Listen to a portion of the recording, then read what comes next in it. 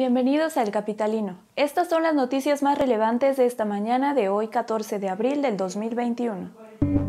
Con seis votos a favor y cinco en contra, derivaron en el retiro de las candidaturas de Félix Salgado y de Raúl Morón durante la sesión del Consejo General del INE. Durante su conferencia matutina, el presidente Andrés Manuel López Obrador celebró la alianza de Televisa y Univisión debido a que con esta fusión se mantiene la inversión de mexicanos en el país y representa millones de pesos en impuestos. El subsecretario de Salud, Hugo López Gatel, anunció en su conferencia que ya están planeando los protocolos de sanidad que se llevarán a cabo para el regreso a clase seguro en los estados con semáforo verde y señaló que posiblemente el 16 de abril la secretaria de Educación Pública, Delfina Gómez, las dé a conocer.